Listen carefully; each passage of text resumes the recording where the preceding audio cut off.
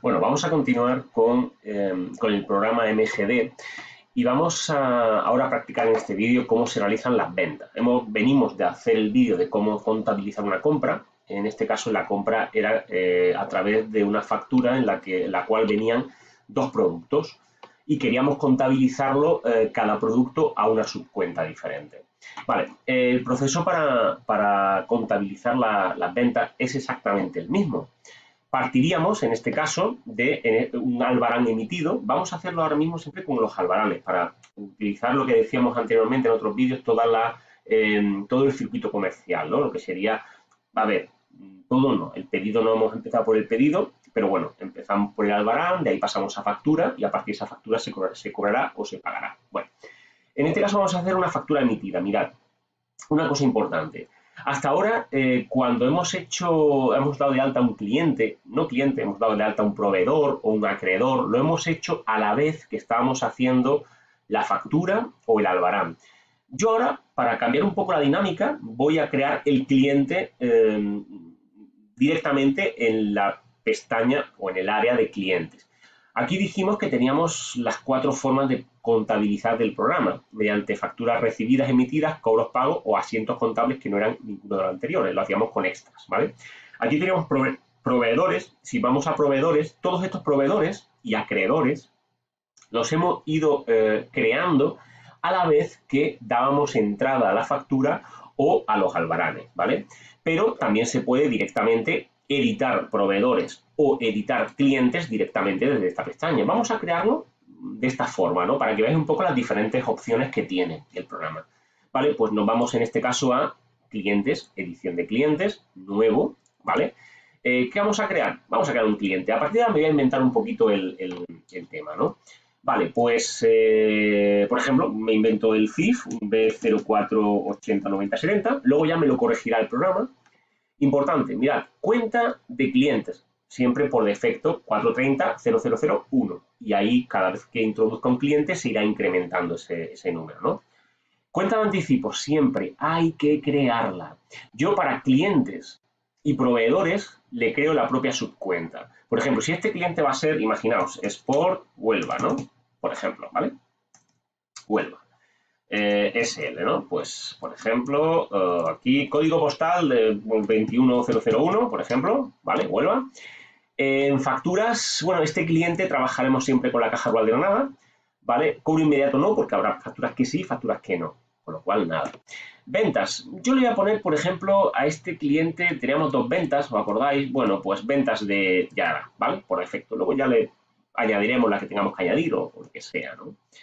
Eh, forma de pago, pues tenemos giro, efecto. Mm, oye, ¿a quién más podemos meter más formas de pago? Imaginaos, por ejemplo, oye, quiero crear, tenemos giro y efectos. Igual lo quiero hacer por transferencia. Transferencia, pues también. ¿Vencimiento asociado? No. Eh, ¿Por defecto? No. Simplemente pues creo esa opción de transferencia. Vale, pues ya pues si quiero lo puedo elegir, ¿no?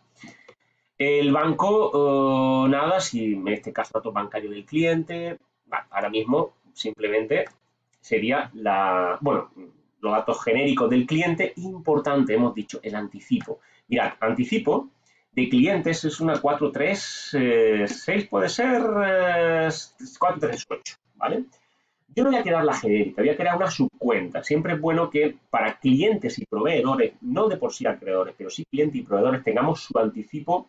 A ver, yo podría poner aquí la genérica de anticipos, ¿veis?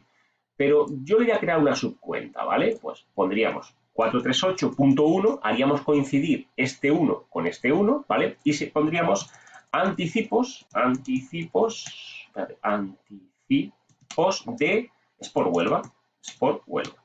Esto sería por si Sport Huelva en algún momento me da un anticipo de cara a futuras compras, ¿vale? Perfecto, pues yo creo ya su propia cuenta de anticipos. Y aquí eh, hago así, eh, ay, no, perdona, elijo, ¿vale? ¿Veis? La elijo y ya tienes 430 eh, y 438 y las dos el 1, ¿vale?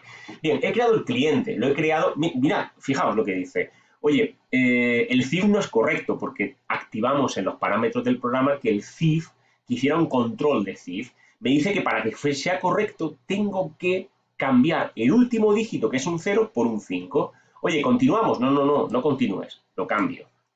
Lo cambio, le pongo un 5 y ahora ya sí es un CIF correcto, o sea, un CIF real, digamos, ¿no? Vale, ya tengo el cliente creado. Lo he creado en este caso a través de su pestaña o el, icono de edición de clientes. Vale, pues ahora vamos a hacer una venta. Vale, eh, la venta. Vamos a empezar por el, el, albarán. En este caso, si yo emito un albarán, eh, o sea, hago una venta, emito un albarán. Vale, albaranes emitidos. No tenemos ninguno. Acordaos que recibidos sí teníamos uno, ¿veis? El que hicimos en el vídeo anterior. Vamos a ver albarán. Vale, edición albarán, eh, nuevo. Vamos a editar un, propio, nuevo. ¿Qué fecha le ponemos? Vamos a ponerlo, por ejemplo, el 20 del 10 del 10 y... ¿En qué año estábamos trabajando? Estamos trabajando el 17, ¿verdad? Era el ejercicio. Bueno, pues veamos nuevo, de nuevo, el 20 de octubre del 17, ¿vale? ¿Qué cliente? Selecciono y ya lo tengo creado. ¿Que no lo hubiera creado? Lo creo ahora. ¿Vale? Como hemos hecho anteriormente. Bueno, selecciones por Huelva. Oye, ¿qué producto? Vamos a buscar. Venga, buscamos. Vamos a comprarle eh, los dos productos. ¿Ya ¿Vale? ¿Cuántas? Pues vamos a, por ejemplo, 10. 10 palas vamos a vender, perdón, ¿vale? 1800. ¿Y cuántas más? Vamos a poner aquí, otra vez buscamos. Y Belcher, ¿cuántas? Tenemos 25, otras 10, venga. Pues ponemos otras 10. ¿Vale? Eh, no vamos a hacer ningún tipo de, de, descuento, pero sí lo que voy a hacer, fijaos, es añadir una línea, una línea libre, porque eh, le vamos a eh, cobrar en factura gasto de transporte. Bueno, para mí un ingreso, ¿vale?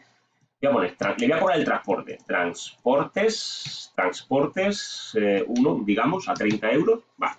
Por lo tanto, fijaos, yo el albarán que le voy a dar de mercancía, con todos los, eh, los productos y los gastos, suma un total de 4.029,30. 4.029,30. Vale, perfecto. Correcto. Acepto. Ya he creado el albarán. Si os dais cuenta, al crear el albarán, si nos vamos a artículos, en artículos me ha ido descontando, ya tenemos 25, eh, o sea, 15 y 20 son los productos que me quedan en almacén, porque el albarán lo que hace cuando tú creas movimientos y, y emite los albaranes o recibe los albaranes, eh, este programa lo que hace es que el almacén va descontando eh, o añadiendo mercancía, productos en función a la entrada y salida de albaranes, ¿vale? Es lo que hace que el almacén vaya moviéndose. Bueno, pues ahora vamos a hacer la factura de ese albarán. Eh, por tanto, voy a apuntarme lo que es la cantidad. La cantidad son 4.029,30, a ver si nos acordamos. Vale. Factura emitida. Llega el momento de emitir la factura. Bueno, vamos a crear la factura. Nueva factura. ¿Qué cliente? Ya lo tenemos creado. Vale, perfecto. ¿Qué fecha? Hemos dicho 20 del 10 del 17. Eh, Uy, perdonad un momento, porque ¿sabéis qué pasa? Que no me he quedado con la cantidad. Ya se me ha olvidado, porque no he apuntado, voy a apuntarlo aquí en la, hoja, eh, lo que sería la, eh, aquí tengo un folio, la cantidad de la factura, ¿vale? Serían 4.029,30. Vale, perfecto. Ahora sí, ¿vale? Vamos a ir rápido. Haríamos eh, lo que sería, por ejemplo, factura emitida. Nueva factura emitida. Seleccionamos el cliente, es por Huelva. La fecha, 20 del 10 del 17. Total factura, eh, 4.029,30. ¿Cuándo va a vencer? ¿Cuándo queréis que paguemos esta factura? Mm, la dejamos a deber, ¿vale? No, no, no hacemos nada. Si la, si la pagáramos en el momento, o al día siguiente o a los dos días, pero supiéramos el día que se va a hacer el, pago, no, perdón, el pago en este caso, el cobro, perdonad, el cobro, pues haríamos seleccionar el cobro al grabar el alta y este cobro se haría en esta fecha, en la de vencimiento. Pero ahora mismo lo vamos a dejar, como vamos a practicar luego con pagarés, lo vamos a dejar ahora mismo, ¿vale? Bueno, le pongo un vencimiento porque es bueno ponérselo del 30, del 10, del 17 y ya veremos cómo lo, cómo lo cobramos, ¿vale? Bueno, aceptamos. Bien, nos vamos ahora esta, a la pantalla de gestión del asiento que decíamos. Fijaos, yo como creé el cliente y le puse que ese cliente eh, iba a tener una cuenta asociada que era venta de Yarará, automáticamente tipo de factura, una venta de Yarará, porque el cliente es por Huelva le he asignado esta cuenta. Si no, no pasa nada, se la cambio aquí y escojo la cuenta que yo quiera poner, ¿vale? ¿Cómo está ahora el asiento? Vámonos a contabilidad. Fijaos, es por Huelva, clientes, a venta de mercadería y ahí va soportado, va repercutido. Bien, ¿qué ocurre? Que aquí hay que añadir varias cuentas. primero, quiero separar los dos productos que tenemos, Yarara y Belcher. Quiero separarlos, ¿vale? Bueno, y además quiero añadir el transporte. Recordad que el transporte de una factura de venta, si bien especificado, se contabiliza una cuenta aparte. No es como en las compras, que se suma al valor de la mercancía. Y si hay varios productos, se hace la constante K. No, en las ventas no ocurre eso. Se contabiliza aparte. Bueno, vamos a verlo. Eh, aquí tenemos la información del IVA. El IVA es el que es. La base imponible sigue siendo la misma. Los ajustes no van a modificar la base imponible. El total, IVA deducible, no es un bien de inversión el vencimiento que yo he puesto, el total, lo cobraré el 30 de octubre, que lo he puesto estimado, ya veremos cuándo se cobra. Vámonos a más datos, aquí no hay que añadir nada. En vencimientos, tengo el vencimiento ya que yo he puesto al principio. Oye, y si no, lo modifico o añado otro vencimiento. Imagínate que estos 4.029 los, pago en tres veces. Bueno, pues aquí iría añadiendo vencimientos en función a, la forma de, pago, no de pago, de cobro, perdonad. ¿Vale? Facturación, oye, eh, ¿a qué albarán asociamos esta factura? Vamos a buscarlo. Mira, el que tengo hecho, el que acabo de hacer, lo selecciono y lo añado, ¿veis? Este es el albarán. Oye, ¿y si yo quisiera verlo? Pincho dos veces y aquí lo veo, ¿veis? Muy bien. Vale, eh, contabilidad, esto hay que ajustarlo. Vámonos a ajustes. Ajustes sería el introducir eh, asientos, eh, cuentas en el asiento, se hace a través de ajustes. Vámonos a ajustes. Oye, aquí tendríamos que incluir otra cuenta, la de venta de Belcher. Vamos a añadirla, más añadimos, ¿qué cuenta? La 700 punto, imagino que sea la 2, ¿ves? Venta Belcher. ¿Por qué cantidad? Pues eh, no, lo he, no te preocupes, no lo sé de memoria, vámonos a facturación, vámonos al Barán y resulta que el Belcher son 1500, vale, perfecto, pues vámonos a em, ajustes, añado Belcher por 1500, 700.2 por 1500, ¿dónde va la cuenta 700? A la ver. Oye, fijaos, Aquí tengo Yarará por 3.330. Esta cuenta de que voy a introducir como ajuste en el asiento, este saldo de 1.500, ¿contra qué cuenta va a ir? ¿Qué cuenta es la que voy a reducir para meter esta, esta cantidad? La otra cuenta de ingreso. Ah, pues ponemos ingreso. De esta manera, estos 1.500 va a restar la cuenta de ingreso, claro, porque no son 3.330, es la diferencia. Y lo incluyo en el IVA. Fijaos, si yo hago así, automáticamente veréis como estos 3.300 de Yara disminuye y pasa a 1.800. A ver, fijaos, 1.830, ¿vale? Ojo, todavía, todavía, todavía hay una cuenta que eh, introducir, que sería la cuenta de transporte, la 759, ¿vale? Bueno, vamos a añadirlo porque hay un 30 euros de transporte. Vamos a añadirlo. 759, ingreso por servicio diverso. 30 euros que va a ir a la vez. Oye, ¿y contra qué cuenta va a ir? Contra la de ingreso. Contra la de ingreso. ¿Cuál cogerá? Debe de coger esta, porque es, esta de la, la es, ha sido un ajuste y esto es otro ajuste. Un ajuste no va a compensar otro ajuste, sino va a la de ingreso original, a 1830. Vamos a ver si lo hace justo, ¿veis? Quita los 30 y los coloca en el nuevo ingreso. Ya he hecho los ajustes necesarios en ese asiento. Por lo tanto, en contabilidad aparece, como lo habíamos hecho nosotros en clase y en el ejercicio, clientes A, venta Yararán, venta Belcher, ingresos por servicios diversos y el IVA de todo ello.